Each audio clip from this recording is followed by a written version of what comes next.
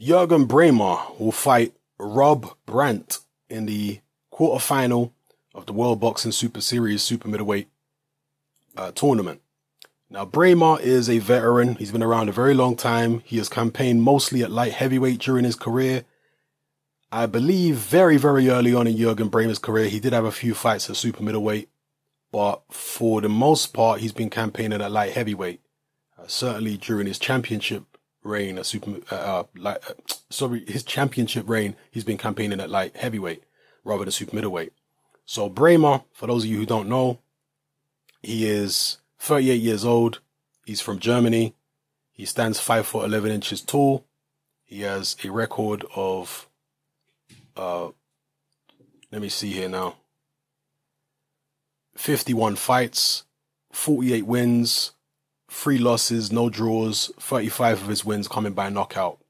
He is primarily a boxer. He can punch a bit with his left hand, so you can say boxer puncher. Uh, he's a technical guy, certainly not a pressure fighter. He's quite accurate, Jurgen Brähmer. Decent defense. He's a pretty tough guy. Um, but he hasn't made super middleweight for many, many years. How is he going to make it now at 38 years old? Will it weaken him significantly? Because it's quite a few pounds you got to lose. 175 pounds down to 168. Now, one thing I will say is Jurgen Brähmer has never been the biggest light heavyweight in the world. Uh, for his last fight against Nathan Cleverly, he weighed in at 173 pounds, so he was two pounds under the light heavyweight limit. And there have been many fights where Jurgen Brähmer has weighed significantly below the light heavyweight limit. So um, I hope I haven't been messing up and saying super middleweight here, but, but yeah, he's he's known to weigh in several pounds below the light heavyweight limit in numerous fights that he's had at light heavyweight. So not the biggest light heavyweight in the world, but still, even if he's weighing in at 173, getting down to 168, that's five pounds less. He's got to dehydrate five extra pounds that he's not used to dehydrating.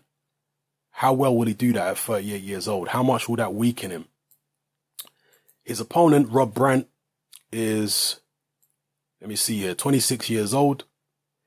He is unbeaten. He stands 5'11, again, the same kind of height as Jurgen Brähmer. He is an orthodox fighter, whereas Brähmer, Brähmer is a southpaw. He has a record of 22 wins, no losses, no draws, with 15 knockouts. I haven't seen Rob Brant fight myself. Uh, I'm just taking a quick scroll through his record, and there is virtually nobody on his record that I recognize, which is not a good sign.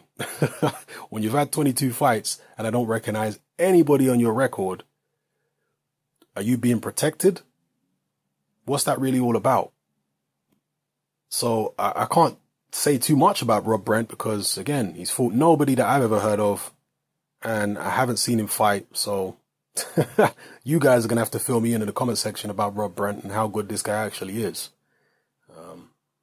Could he be a dark horse in this particular tournament? Jurgen Brähmer, on the other hand, we know he's been in there with all kinds of names that you'll be familiar with. He obviously fought Nathan Cleverly in his last fight. Strange fight, actually. I thought that Brähmer was doing well in that fight. I thought he was ahead in the fight. I think the judges actually had him ahead. And inexplicably, he pulled out after six rounds in the fight. So, a strange performance uh, in losing to Nathan Cleverly in a fight that he was winning. He's also fought people like Enzo Maccarinelli, He's fought people like um, Edward Gutknecht. Unfortunately, we know Gutknecht's situation. He fought Dmitry Sukhotskiy. That's somebody that uh, Adonis Stevenson knocked out not too long ago, or a couple years ago, actually. Uh, he fought basically the who's who of German super middleweights, Jurgen Brähmer.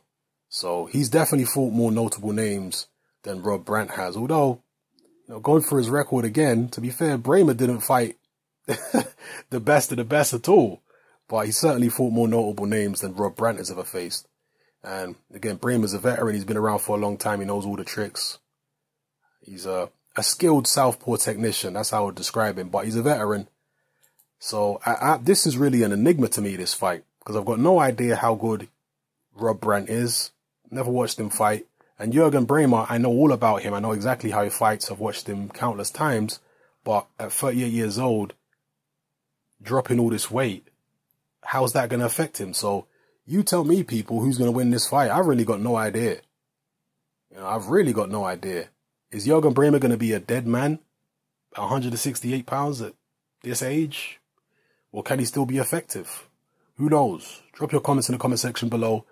Let me know how you think this fight is going to go, how these styles match up, and who you think is going to win. All right? Sam and I'm out.